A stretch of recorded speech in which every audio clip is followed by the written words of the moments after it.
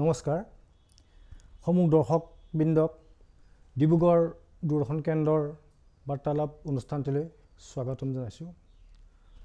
আজি আমি এনে এজন ব্যক্তিৰ লগত মুখামুখি হ'বলৈ ওলাইছোঁ যি এজন চিকিৎসক হৈও সাহিত্য জগতত জীৱনৰ আধা চোৱা কাম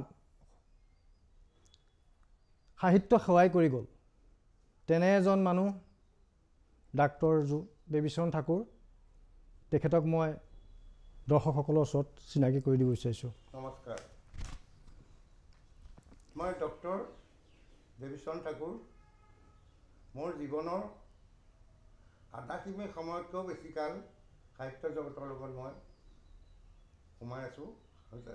কিন্তু শেহতীয়াভাৱে মই কেইখনমান অসমীয়াকে ধৰি ইণ্টাৰনেশ্যনেল লেংগুৱেজত আৰু বিশেষকৈ অসমীয়াত অসমীয়া হিন্দী আৰু ইংৰাজীত সম্পূৰ্ণকৈ বুজি পোৱাকৈ সম্পূৰ্ণভাৱে বুজি পোৱাকৈ এখন অভি এখন অভিধান মেডিকেলৰ অভিধান আৰু লগতে তাৰ মাজত সোমোৱাই এখন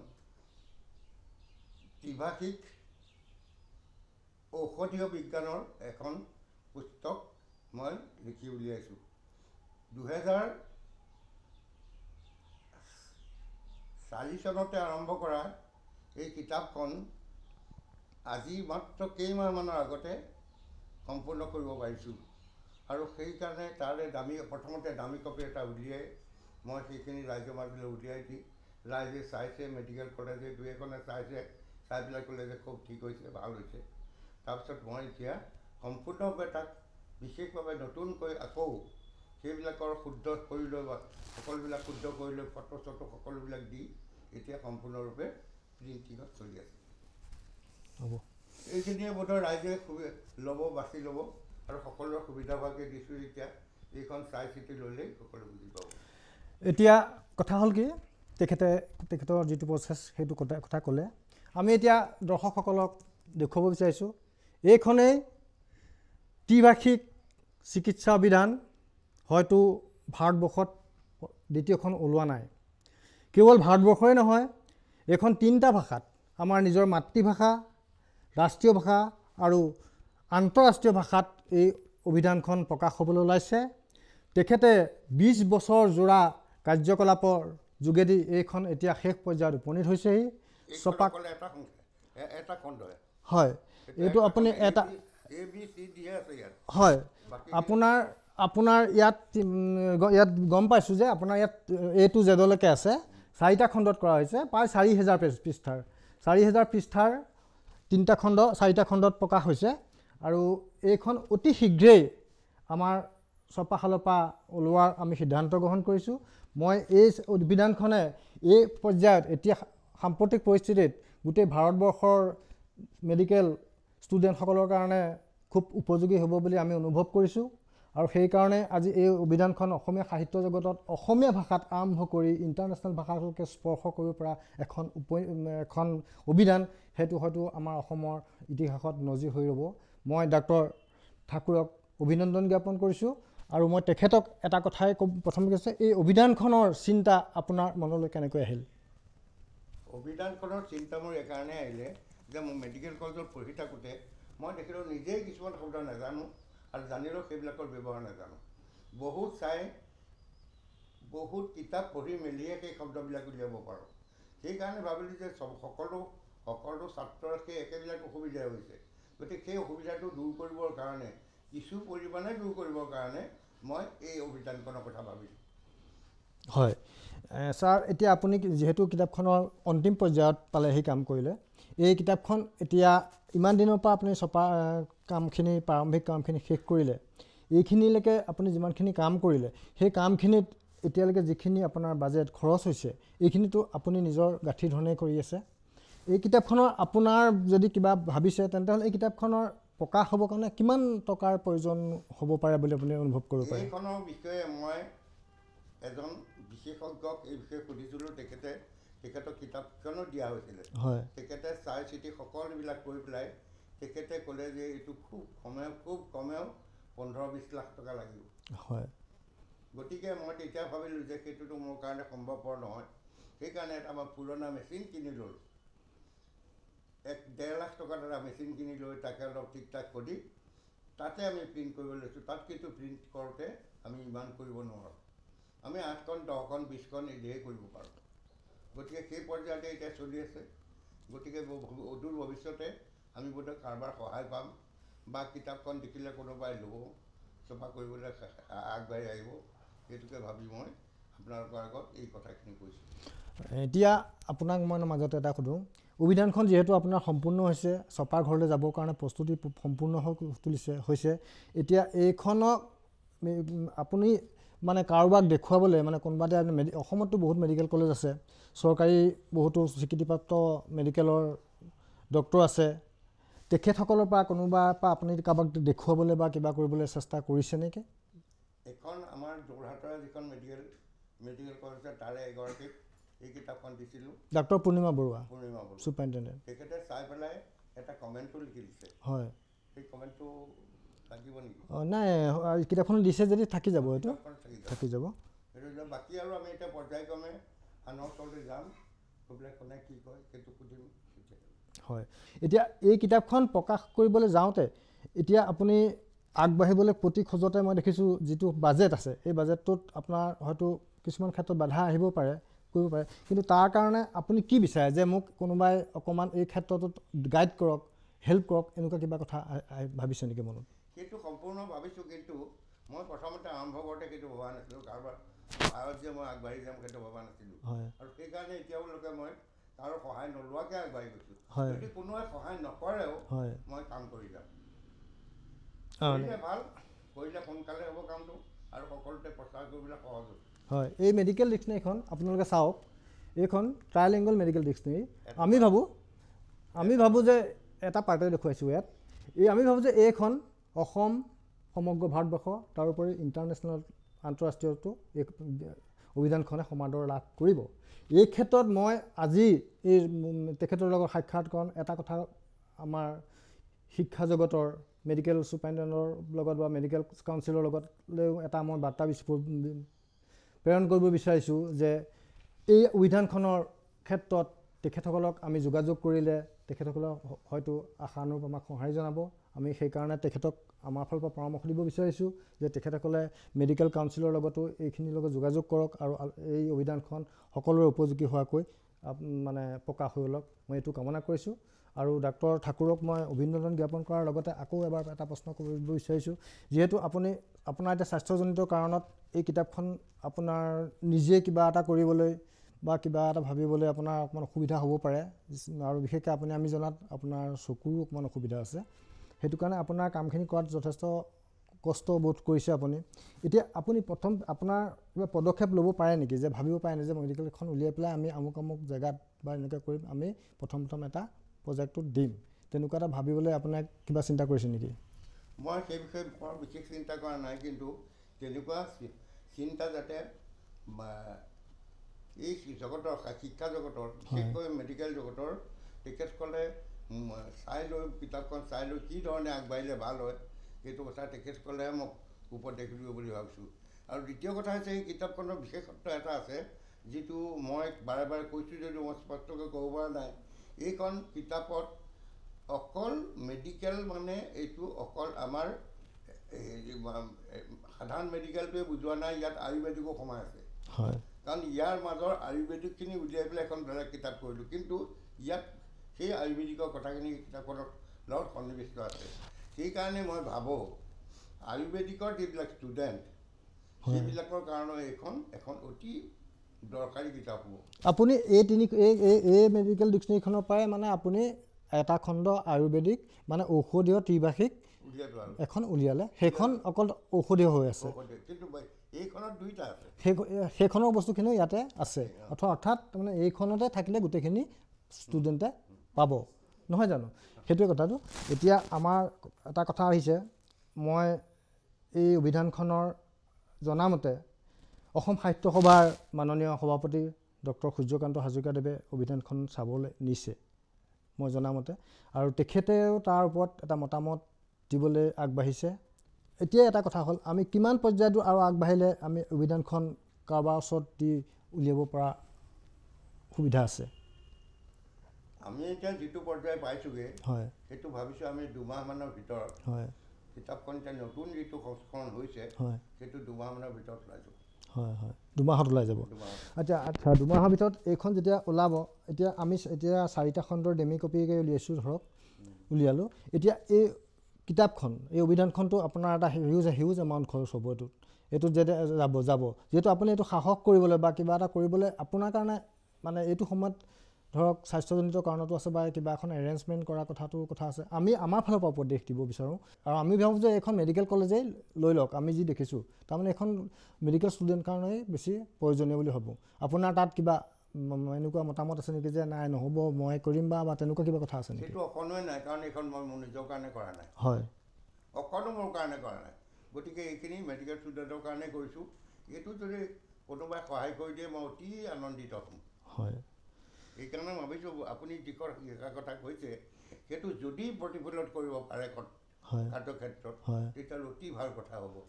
আৰু তাৰ কাৰণে ময়ো দৰকাৰ হ'লে লগতে উজান দিম। হয়। সেইটো খুবেই ভাল কথা। আপুনি উজান দিম বুলি ক'লে আপুনি ইমানখিনি কাম কৰিলে বিছ বছৰ পৰিশ্ৰম কৰিলে পৰিশ্ৰম কৰি আপোনাৰ স্বাস্থ্যজনিত কাৰণতো এতিয়াও আপুনি ইমান স্বাস্থ্য বেয়া যদিও হৈ আছে যদিও আপুনি কাম কৰি আছে আপোনাৰ ষ্টাফে কাম কৰি আছে এইটো এটা খুবেই ভাল কৰা কিতাপখন ওলক আমি অসমীয়া ভাষা সাহিত্যলৈ লগতে বিশ্বৰ সাহিত্য জগতলৈ আমাৰ ৰাষ্ট্ৰীয় সাহিত্য জগতলৈ এইখন এখন অৱদান হৈ ৰওক। আমি সেইটো কামনা কৰিছোঁ। আৰু আপোনাক এটা কথাই আমি শুভকামনা জনাব বিচাৰিছোঁ যে এই অভিধানখনৰ প্ৰচাৰৰ ক্ষেত্ৰত আপুনি বিশেষভাৱে কাৰোবাৰ সহায় লওক আৰু সেই বিষয়ত আপুনি কাৰোবাৰ বিশেষজ্ঞৰ লগত আলোচনা কৰক। সেইটো আমাৰ ফালৰ পৰা এটা পৰামৰ্শ। আৰু এইখন আমি এইটোৱে বিচাৰিছোঁ যে অতি সোনকালে এইখন কলেজৰ ষ্টুডেণ্টসকলৰ কাৰণে মেডিকেল ষ্টুডেণ্টখিনিৰ কাৰণে ওলাব লাগে। তাৰ বিষয়ত আপুনি যদি কিবা নতুনকৈ ভাবিছে বা কিবা ভাবিব পাৰে তেতিয়া ক'ব। নাই সেইটো কথাটো হৈছে কি প্ৰত্যেক ষ্টুডেণ্টে এইখন কিতাপ কিনি পেলাই ব্যৱহাৰ কৰাটো সম্ভৱপৰ নহয়। নহয় নহয় কিন্তু লাইব্ৰেৰী যদি ৰাখে হয়। অন্ততঃ লাইব্ৰেৰী যদি চাৰি পাঁচটাকৈ কপি ৰাখে প্ৰত্যেকেই মিনিমাম হয়। তেতিয়াহ'লে ল'ৰা ছোৱালীও বেছি উপকৃত হ'ব। কিন্তু কিতাপ এখন কিনি এইখন কিনি লৈ ফুৰিবও নোৱাৰে কোনেও পঢ়িবও নোৱাৰে আৰু ঘৰলৈ নি পেলাই এইটো সম্ভৱপৰ সময় নাপায়। আপোনাৰ এই চাৰিটা খণ্ডত এ টু জেড আপোনাৰ পৃষ্ঠা সংখ্যা কিমানমান হ'বগৈ? এইখিনি four hundred four thousand plus four thousand plus হ'ব ফ'ৰ থাউজেণ্ড আৰু এইখনৰতো পাৰ্ট পাৰ্টকৈ হ'ব। একেলগেতো নহয়।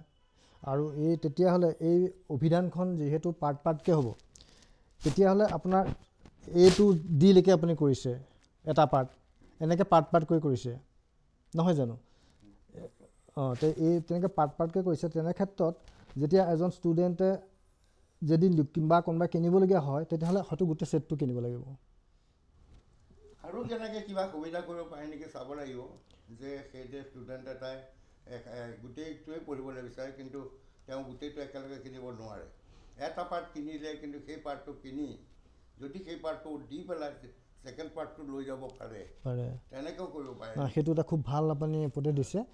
সেইটো যদি কৰিব পাৰে তেতিয়াহ'লে খুবেই ভাল হ'ব ষ্টুডেণ্টে ছাৰ আপুনি আমি জনাত এই মেডিকেল অভিধানৰ উপৰিও আপোনাৰ কেইবাখনো উপন্যাস প্ৰকাশ পাইছে ইতিপূৰ্বে আৰু পাঠক সমাজৰ পৰা যথেষ্ট সমাদৰ লাভ কৰিছে। বিশেষকৈ আপোনাৰ মহাপ্ৰস্থানৰ পথত এখন বিজ্ঞান ভিত্তিত যিখন উপন্যাস তাৰ দুটা খণ্ড ওলাইছে আপোনাৰ নিষ্ক্ৰমণৰ পথত আৰু বিজ্ঞান মহাপ্ৰস্থানৰ পথত।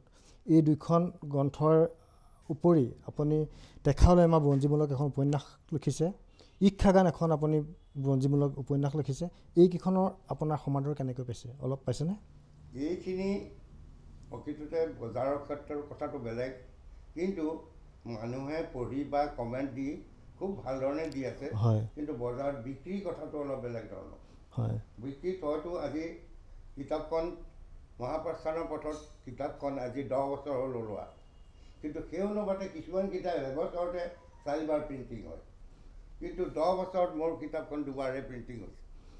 গতিকে সেই ক্ষেত্ৰত আপুনি কিতাপখনৰ মই মূল্য নিজে নিৰ্ধাৰণ নকৰোঁ কাৰণ মই জানো যে মহাপ্ৰস্থানৰ পথত এটা এনেকুৱা এটা মেছেজ দিছে যিটো মেছেজ ভাবিলে চবেই চিন্তা কৰিব লাগে যে আহি যে পৃথিৱীখন আজি ইমান বেয়াকৈ বেয়া ধৰণে গৈ আছে আগবাঢ়ি গৈ আছে ইমান বেছি যে আমেৰিকাত তেনেকুৱা এটা ঘটনা হ'ল হৈ পেলাই এটা মানুহৰ জীৱন নাশ কৰিলে ইমানবিলাক জীৱন নাশ কৰিলে। তাৰ পৰা কি পালে শিক্ষা? শিক্ষা এইটোৱে পাইছে যে মানুহৰ হেৰিবিলাক সন্ত্ৰাসবাদে মানুহৰ জীৱন। সেই তাৰপিছত অসমতো হ'ল এটা অসমত ধেমাজিত হ'ল। ধেমাজিত শিশু হত্যা হেৰিটো যিটো সন্ত্ৰাসবাদে কৰিলে সেইটো গা কপাই যোৱা সেইটোৱে মোক এই কিতাপখন লিখিবৰ কাৰণে উদগনি দিলে যে এনেকুৱা এটা ঘটনা হৈছে যিটোৱে মানুহৰ মানসিক প্ৰবৃত্তিটো কিমান বেছি তললৈ নামিছে সেইটো প্ৰকাশ কৰিছে এইটো কিয় হৈছে তেতিয়া আমি চিন্তা কৰি পালোঁ যে এই কথাটো এটা কিবা এটা জিনৰ গণ্ডগোলৰ কাৰণে হৈছে সেইটোৱে মই নিজৰ চিন্তা নিজে এক্সপেৰিমেণ্ট কৰি ওলালোঁ যে এটা জিন বিষাক্ত জিন আছে এই জিনটোৱে মানুহৰ সংক্ৰমিত হ'লে এই তেনেকুৱা ধৰণৰ হ'ব পাৰে কিন্তু সেই জিনটোক ভাল কৰিব পৰা উপায় আছেনে নাই সেইটোৰ কাৰণে বহুত বাৰ বহুত বহুত ৰিচাৰ্চ কৰি কৰি উলিয়ালে যে ভাৰতবৰ্ষত যিটো পদ্ধতি চলি আছে যিটো মানসিকভাৱে বিকৃত মানুহৰ মানসিকভাৱে যিবিলাকে চিন্তা চিন্তা চৰ্চা কৰি ধ্যানৰ যোগেদি কিছুমান বস্তু উলিয়াব পাৰে সেইটোতে এটা জিন উলিয়ালে সেই জিনটি প্ৰশস্তি জিন সেই জিনটোৰ জৰিয়তে যে কিছুমানৰ উন্নতি হৈছে কিছুমানৰ এই দোষ থকা উম, বেয়া হৈ গৈছে মাৰি গৈ মাৰি দিব পাৰিছে তেনেকুৱা এটা জিন উলিয়ালে।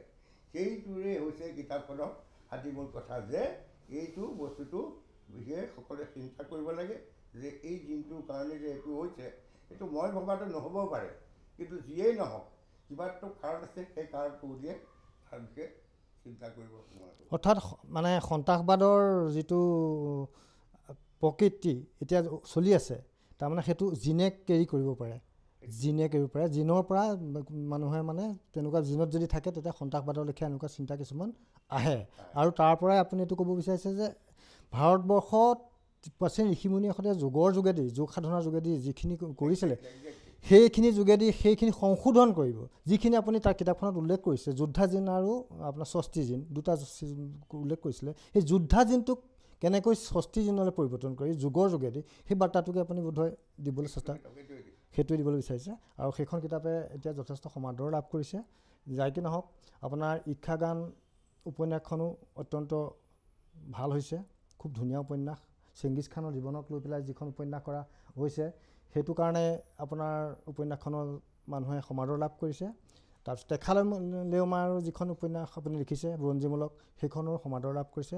আৰু শেহতীয়াকৈ আপোনাৰ যি মেডিকেল ডিক্সনেৰী ওলাইছে চাৰিটা পাৰ্টত সেই মেডিকেল ডিক্সনেৰীখন এতিয়াতো আপুনি এইখন যেতিয়া কাইলৈ হৈ গ'ল যাব এইখনৰ কিবা এটা প্ৰাইচ দৰ নিৰ্ধাৰণ কৰিছে নেকি আপুনি?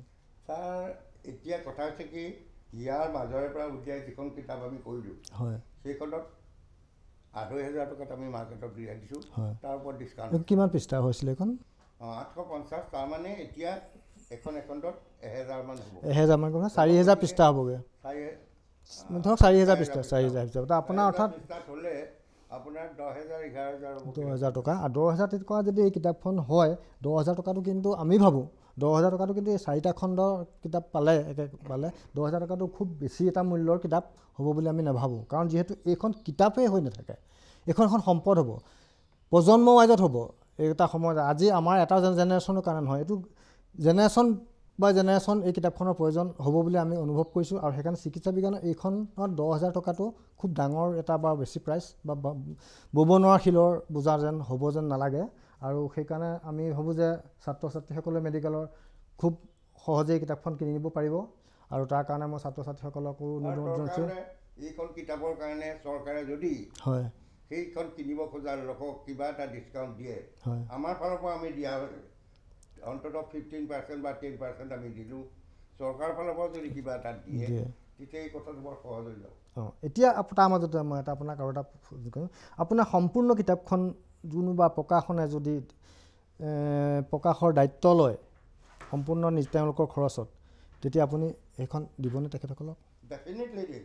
হয়। তাৰ বাবে একো নালাগে। হয়। পইচাও নালাগে মোক। মই এই বিছ বছৰৰ কষ্ট মোৰ কষ্ট আৰু মোৰ লগৰ যিখিনি আছে সকলোৰে কষ্টখিনি মই বহন কৰিম। খুব ভাল কথা এইটো খুব ভাল পদক্ষেপ আপুনি ভাল কথা চিন্তা কৰিছে এইখন। যিহেতু আপুনি কোনোবাই প্ৰকাশ কৰিলেও এখন আপুনি তাৰ তেওঁৰ পৰা পইচা নলয়। আপুনি এখন দিছে। খুব ভাল কথা। আমি সেইকাৰণে অসমৰ যিমান বা ভাৰতবৰ্ষৰ যিমান প্ৰকাশক আছে তেখেতসকলেও আমি এটা ইয়াৰ যোগেদি বাৰ্তা প্ৰেৰণ কৰিছোঁ। কোনোবাই যদি আগবাঢ়ি আহে তেখেত প্ৰস্তুত আছে এইখন ছপা কৰিবলৈ অনুমতি দিব পাৰে। বহুত ধন্যবাদ। আপুনি এইখিনি কথা কৈ আমাৰ প্ৰকাশকসকলক ষ্টুডেণ্টসকলক যিখিনি উৎসাহিত কৰিলে তাৰ বাবে আপোনাক অশেষ ধন্যবাদ জ্ঞাপন কৰিছোঁ। আপোনাৰ সুস্বাস্থ্য কামনা কৰি আমাৰ অনুষ্ঠানটি আজিলৈ ইমানতে সামৰণি মাৰিছোঁ।